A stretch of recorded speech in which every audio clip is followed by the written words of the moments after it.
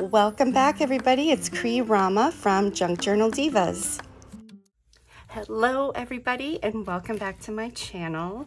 This is part three of this video, and I thought I would do a little recap here because this started off as using master boards, and this is the only one that I have left. I used all of the master boards that did not have the, these colors in. They were just all neutral and that is what I was working on was just getting rid of some scraps and making some things out of the master boards and I started making tags and went a little bit crazy so I thought let's just talk about what I've done so far because it kind of turned into being all about backgrounds and mixed media backgrounds. So in part one, I made my snippet rolls and I made the master boards. And then in part two, I did these tags. So I'm gonna put these aside for now. And I'm just gonna talk about what I did here. And we can kind of do a comparison. So first of all, all the tags that I'm showing you, they're all the same type of background. That's what I started with. These were the first ones. And if you can see the backgrounds, well, I put some of my paper towel roll here. So these are really grunged up. I put a little, a thin layer of gesso on the background and I sprayed it with some coffee stain spray and then I put some ink on, added water and just kind of smooshed it around a bit. So these are super grungy. I'm calling them my grungy grannies. so that's what I did for these backgrounds. And then these are jelly prints that I used on the bottoms. For these, I did go over the focal points, the, the ladies, with a clear um, embossing powder. And I put the tabs on these with our little dangles here. So these were the first ones that I did. Now these are a little softer, obviously. So you can, if you can kind of tell the background, I put the thin layer of gesso for all of these, I was using at the bottom some embossed papers that I inked up, added paint, and all kinds of various things too. Um, so there wasn't an exact uh, method that I used for all of those embossed papers. And on these, I only I put embossing glaze on their their masks. So I don't know if you can see in the light. So these are the little bit of softer color here. And I used my rusty paper on the back. I did have these in my shop, but yeah, I sold out of those. So this was the second video. And now today, since I had all these focal points, I just, I had to keep going. So I start off here making these two. Now, these were a lot of fun. And I started off here with, you can feel it, but you won't be able to really see it in the video. But I started off with some frosted crystal. And what that does is just adds a little bit of grit. And then after I heat set that, I added some distress crayons and just layered it up to get this to get this look. I also have had a lot of fun playing with how to do my gears. On some of them, I just did, you know, put some stuff on after they were cut. On others, I painted the paper and cut them out afterwards. But you'll see that. Then this they have some moving gears on them. And again, rusty papers on the back. And the same, the same thing for this one. And I think I'm going to, I'm going to put these in my shop because I made so many of them. So I've got these with the movable parts and then I've got these three and I think these are my favorites because of the color. Of course, I always, I love lots of color. I used embossing powder on these. Now, this was a lot of fun playing around with. Let me just hold the three of these up. If you can just focus on these bottom papers. This one's kind of hard because there's a paper here that I put over top. But if you can see, it's like that metal sheet that I grunged up. So this is this grunged up. I don't know, hopefully you can get a good view there. I did, I embossed all my images. I also embossed the picture frames here with the glaze and went around with my, cause I just, I love this this bright blue thread with all of these. Just, I love the colors. And that's like my, one of my favorite colors anyway. I love the bright, the turquoise and teal. And then I did stamping on the background and this is embossing glaze again on the background doing that brick The little sayings here. I don't know if you can see, but they have a little bit of a dimension to them because they layered them up. And you can see my gears that I used here. I think this one has the foundry wax on. Let's see. Yeah, this one's kind of hidden in the background just inked up. I, I went crazy. I just made a whole bunch of different gears. Um, let's see. This one looks like it has some foundry wax on it too, if you can see that shine. So these are all of the tags that I did. And so in this video, we are going, oh, this is the other paper. So this is what I used on the bottom here. So I do a lot of fun stuff with the patina effect paint, embossing powder, what else? Oh, and the distress crayons. Like I said, this turned out to be a lot more about mixed media and using different different mediums here. But the, this is what I do in this video. So this has been a lot of fun playing. I think I'm moving on now though, but a lot of fun playing. So let's get started with the video now. Hello everybody, I am back for, I guess this will be part three. In the last video, I showed a whole bunch of my embossed papers that I had. So I cut out some more gears and I wanted to try maybe to put some foundry wax on these guys. So we're gonna try that. And I'm just gonna squirt a little bit of this on the back of my hand. Okay, so you gotta be careful. All right, sometimes it gets clogged and then all of a sudden it'll go and a whole bunch comes out. So you have to be careful with this and close it back up because it does dry quickly. Okay, it would be kind of cool to do this on top of some of my papers here. So if you haven't used this, it, it dries very fast. The foundry wax does.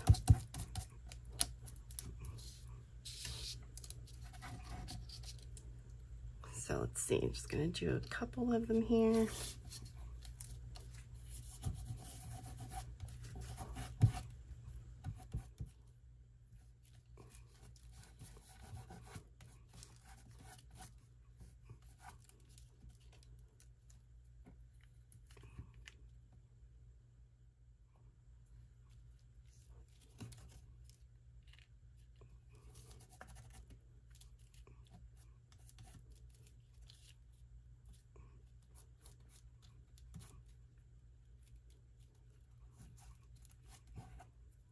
So now I'm gonna use my heat tool to heat set these.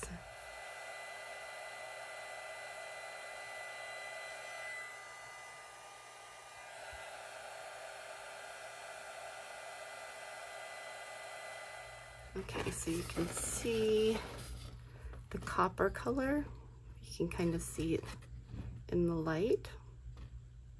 So I've got those. And I've got some of my masterboard pieces.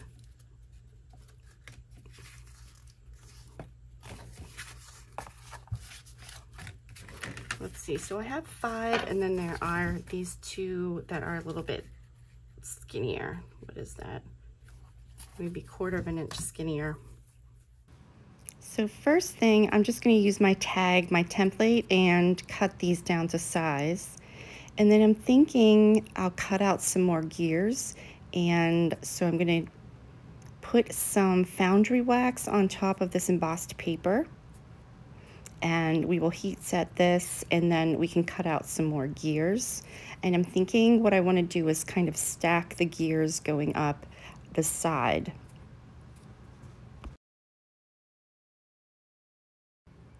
And you can see here the foundry wax sets very quickly.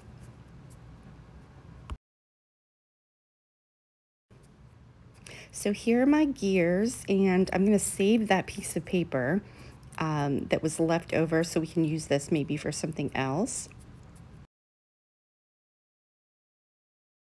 I have the images that I want to use for these two, but before I do anything else, I'm going to use some frosted crystal, which is like an embossing powder, but it just adds a little bit of grit to your project, to the, the medium, whatever the base is that you're using. So I'm going to put some of that on first, the frosted crystal. And then after I heat set that, we will play around with some distress crayons to make our background.